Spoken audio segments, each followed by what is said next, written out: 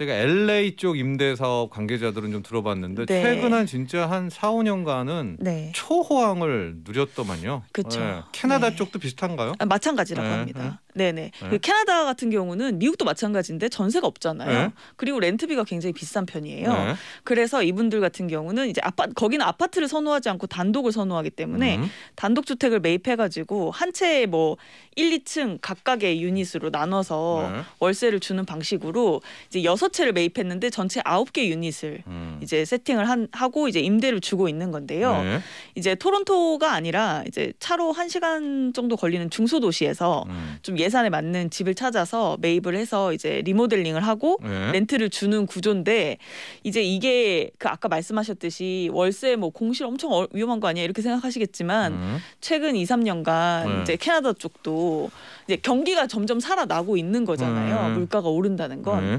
그래서 이제 이런 렌트 수요도 높아지고 있기 때문에 음. 그런 측면에서 이제 이렇게 세팅을 하실 수 있었던 거죠. 근데. 여기서 바로 지적 들어가는 게요. 네. 이분들 진짜 아무리 네. 금융권이지만 네, 신혼부부고 네. 금융권에서도 그 뭐 높지만 연봉이 네, 집을 여섯 채나 살 정도의 부는 없는데 맞습니다. 이 돈은 어디서 난 겁니까? 금수저입니까? 아니고요. 네. 그 아까 그 학자금 대출도 많았다고 네. 했었잖아요. 이분들이 이제 보면 전체 자산은 50억 원이고 자기 자본은 22억 원, 대출은 23억 28억 원.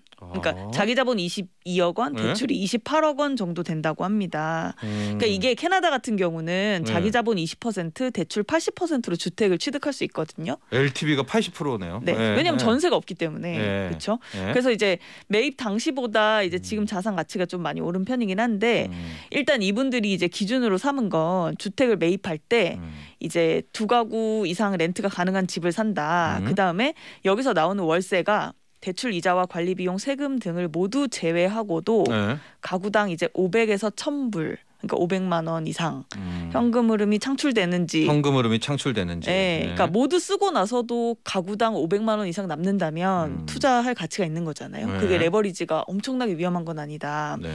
그렇게 해서 이제 기준으로 투자하셨다고 하고 음. 예, 지금은 이제 아홉 개 유닉 세팅한 다음에 이걸 운용하면서 음. 조기 퇴사 후에 자유롭게 사시는 거죠. 네, 이렇게 그 여섯 채를 네. 보유를 하고 아홉 개 유닛으로 나눠서 렌트를 하고 월 네.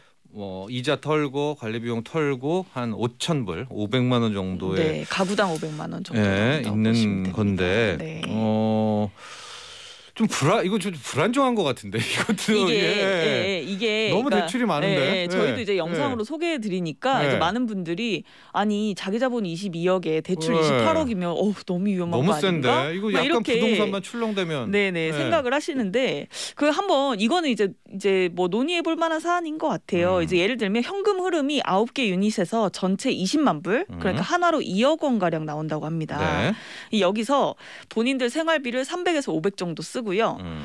그 다음에 추가로 6천만 원 정도 여유가 있는데 연간 기준입니다. 네. 네네 네. 이 부분은 이제 원금을 상환하고 있다고 해요. 음. 이자가 아니라 네. 그럼 저축 개념인 거죠. 네. 그래서 지금은 이제 토론토에 살지 않고 이제 좀 주거가 저렴한 음. 중소도시에서 살면서 이렇게 자기는? 운용을 네. 하고 있는 건데 음. 그러면 이제 월 생활비를 300에서 500이니까 평균 400으로 잡고 네. 1년이면 5천이잖아요. 네.